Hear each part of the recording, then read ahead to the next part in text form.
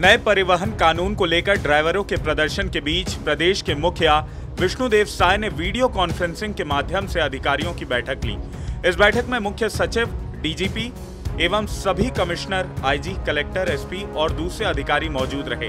इस बैठक में सीएम साय ने अधिकारियों को अहम निर्देश दिए हैं। सीएम साय ने अधिकारियों को आवश्यक वस्तुओं की सुचारू आपूर्ति बनाए रखने और ट्रक चालकों की देशव्यापी हड़ताल को देखते हुए आवश्यक व्यवस्था करने के निर्देश अधिकारियों को दिए हैं। इसके साथ ही सीएम साय ने कहा कि प्रदेश में आवश्यक वस्तुओं की किल्लत नहीं होनी चाहिए। बैठक में सीएम विष्णुदेव साय ने कहा कि ज़िले में कानून व्यवस्था की स्थिति नियंत्रण में रहे और किसी भी अन्यथा स्थिति में कलेक्टर एसपी की ज़िम्मेदारी तय की जाएगी। विष्णुदेव साय ने जनता से भ्रामक जानकारी न फैलाने की अपील भी की है। इसके साथ ही विष्णुदेव साय ने अफवाह फैलाने वालों पर कार्रवाई के निर्देश दे दिए हैं। और कहा है कि जनता तक सही जानकारी ही पहुंचनी चाहिए।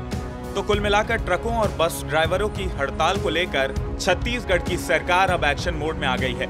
सीएम विष्णुदेव साय के निर्देशों पर आपकी क्या राय है? कमेंट करके हमें ज़रूर बताएँ। साथ ही इस वीडियो को ज़्यादा से ज़्यादा लाइक और शेयर करें और आईबीसी 24 के हमारे यूट्यूब चैनल खबर विभाग को ज़रूर सब्सक्राइब करें। नमस्कार।